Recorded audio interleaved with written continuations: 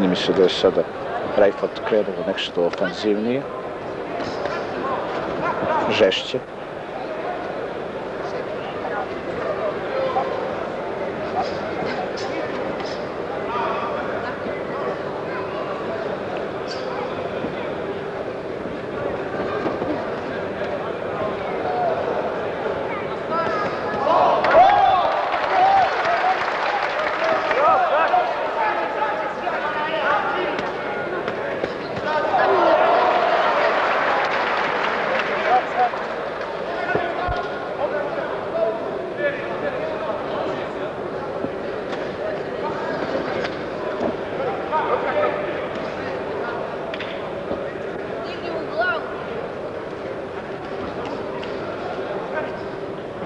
Polovina pete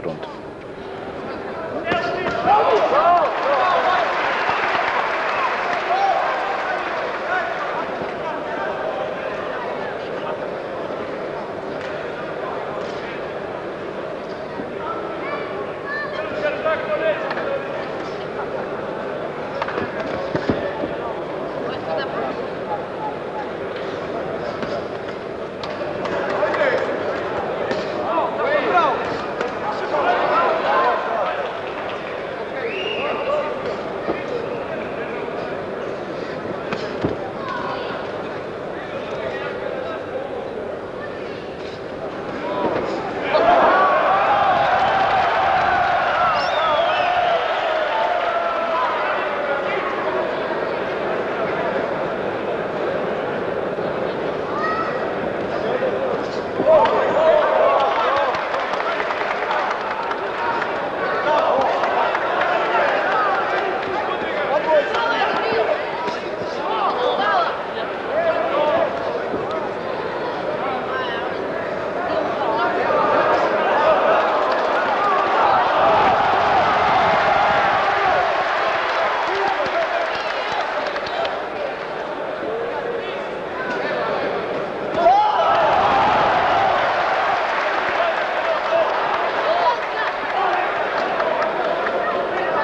Rayfordu nešto jače, krvari nos evo sada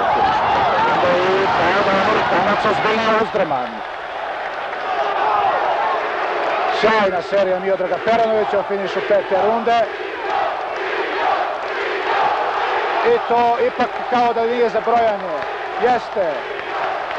Da li Rayford napušta meč? Ne, to je kraj. To je kraj pete runde. Gong se uopšte nije čuo Otra vida.